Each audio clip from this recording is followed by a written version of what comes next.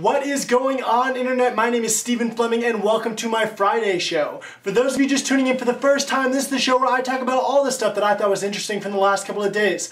That being said, let's jump right into the first headline of the day. Today is National Donut Day, a tradition started by the Salvation Army in 1938. At this point, it's pretty much just an excuse for people to eat donuts, but Krispy Kreme is giving away free donuts today, and Dunkin' Donuts is giving you a free donut if you buy a drink. Also, some really exciting news. Dunkin' Donuts unveiled a new breakfast sandwich that uses glazed donuts instead of buns. That gives you all summer to eat those disgusting sandwiches and get ready for Diabetes Awareness Month in November. Moving on to my next headline, a man attempted to slit his wrists on the Today Show yesterday morning. Well, he successfully managed to slit his wrist, but he didn't actually end up getting on the Today Show. A security guard managed to stop the man as he was self-harming, he was apprehended and then sent to the hospital. The 76-year-old man is now totally fine, and when asked why he did it, he claimed that the IRS stole a million dollars from him, and this was the only way that he could get justice. So yeah, I think that guy has some other issues going on in his life.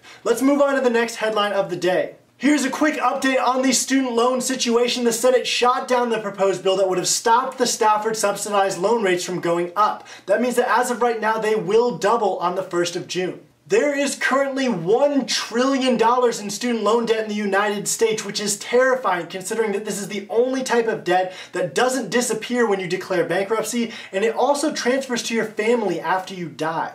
Yes, you heard that correctly. Student loan debt never goes away. Why is it that the government continually fails to stand up for the people in our generation? Leave your answers and comments in the comment section down below. Why is our generation just so unimportant to the US government? Moving on to some happier headlines, a brand new Superman Man of Steel trailer came out yesterday. This has got to be the fourth or fifth trailer that I have seen for this movie. That being said, the movie does look like it's going to be pretty good, and it's coming out really soon on the 14th of June. That brings me to another question of the day. Is there such a thing as too many trailers for a movie? Because I feel like Superman Man of Steel has got to be kind of pushing the boundary at this point.